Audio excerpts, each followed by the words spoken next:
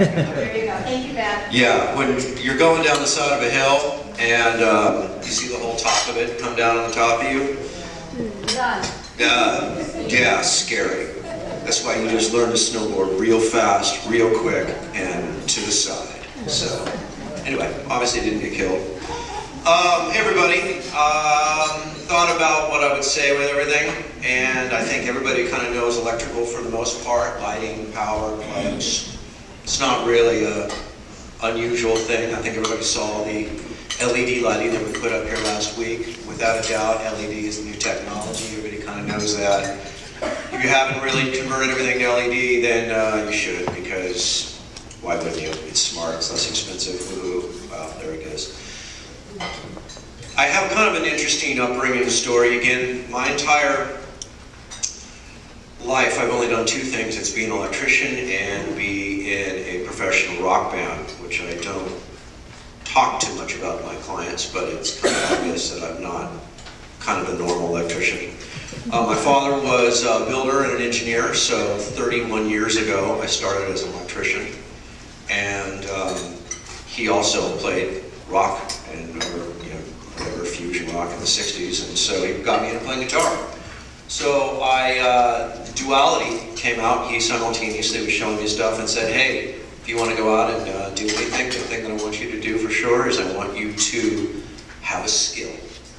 And uh, I have a lot of respect for my father, though I wanted to go work in a music store and do something fun and entertaining as a teenager. He uh, I followed his advice and learned this trade, which has obviously grown expanded to the point where I moved down to Los Angeles and uh, had uh, worked for another uh, very decent electrical contracting company, which I was interested in because they were in this networking group, I believe in Santa Monica 20 something years ago or something.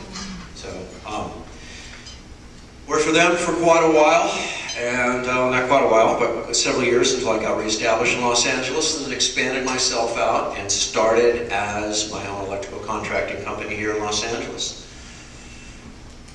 Move forward with all those things. The um, interesting part about most of the, the power and the lighting that you do is that you get to meet, uh, you get to perform and, and, and put juice in a lot of people's homes, which is it's people don't really get it because you nobody really sees it, right? Nobody really understands the power on the wall until you don't have it. Then you're like, oh my gosh, the wall's coming to an end, my plug doesn't work, right?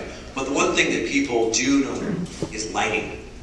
And um, lighting school creates drama, creates effect. There's a lot of really cool things that you can do for internal lighting. I do lighting design too at the same time. Hopefully there's no lighting designers in here, I don't think so. Um, but another thing that I've learned to do that's unusual, um, that I've adapted from my other skill, is stage lighting.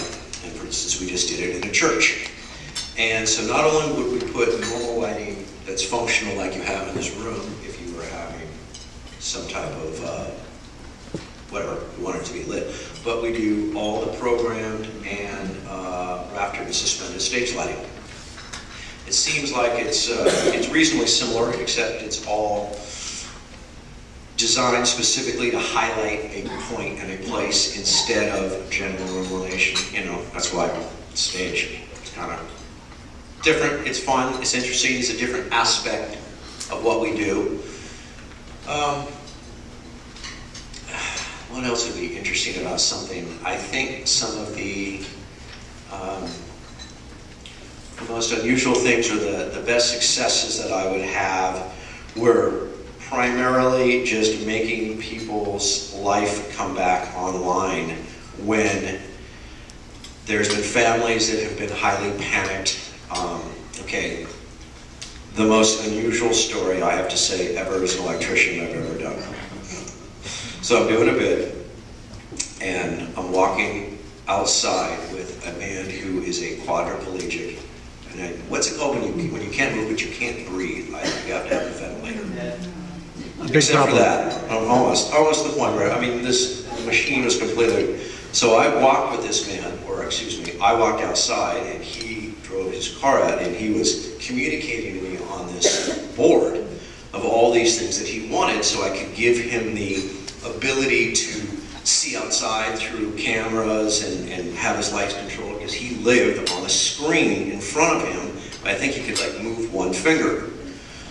So as he's out there, something breaks on his mobile cart, okay? And his caregivers start panicking and running around, freaking out, because also the guy can't breathe, okay? So he's like gonna die. And she's trying to fix this component stuff.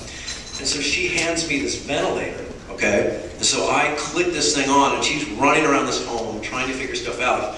So I'm sitting with this man out on his deck, just making him breathe, keeping him alive, just going, wow, this is the most unusual thing I thought I would be doing this morning as I'm keeping this guy going. So there you go. That's my kind of interesting story on uh, something that's unusual for a bit. You're a hero. Yes! Yeah, my hair still looked good when I was doing it. Um, if anybody has any questions on, on lighting or anything, or? Oh, uh, yeah, yes. Carl? Do you do commercial and residential? I do. I do commercial, residential. Um, the only thing I really don't do is hardcore industrial. That would be overpasses and freeways and stuff like that. You do, uh, do electrical panels, electric, Yes, um, pretty much anything that involves power. Um, I'd like to primarily stay within, I do a lot of TI and then I do a lot of residential and everything that's maintenance within it. I don't expand towards larger, huge jobs or brand new construction as I've found the exposure to be not the best. How about charging stations for electric cars? I do a lot of charging stations for electric cars. Uh, I found it to be, uh, everybody's getting electric cars, so, you know, it seems like every day you get a new one, you put one in, so. How does that work? That's a good one. Okay, there's two ways it happens. You come out an electric panel, and you can, if your panel is strong enough to support electric car. Now, this is this is important because a lot of people live in condos and apartments. So what happens is, is the power supply from the condominium is always generally your basement, right? And everybody has their panels inside their homes. You have to sometimes learn to split the power in your meter in your condominium and then run it through your garage. That's one way. Or you create a new little sub-meter. I don't know if you've seen them, the little glass meters, everybody reads it. You can put little single ones of those and redistribute the power line. There's no one way it's done, right? Every building provides a different scenario in which would allow you to put a car station in. Just kind of in the same vein, there are some chargers, I believe, that are, that are like, they they charge cars faster, there's some systems. Absolutely. Higher pressure, more juice, charge it faster. You get those. Yeah, they're, they're all the same. They're just different stuff. Your favorite bands? Favorite bands, I got a lot now, you know, a lot, a lot, a lot of bands. Top three. Uh, I love the Eagles.